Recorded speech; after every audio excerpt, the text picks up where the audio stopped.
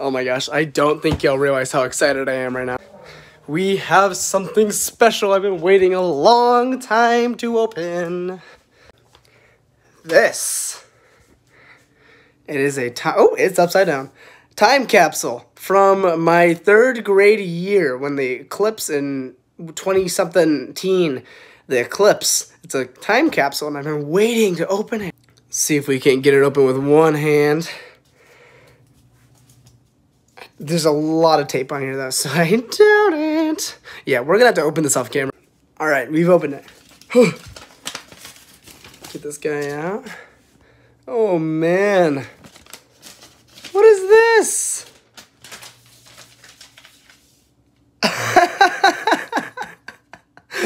a minute. Oh, fourth grade. My bad. I thought it was third grade. What? You know what's hilarious? Hold on, I've been waiting to find this. This is like. That's hilarious that I found that. This was my time capsule?